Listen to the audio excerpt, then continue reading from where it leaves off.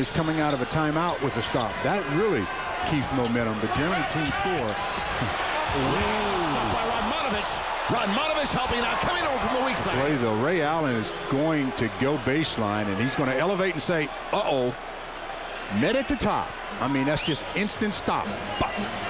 All the momentum just stopped. And Vlad and Cook are both there, but the Lakers just couldn't capitalize.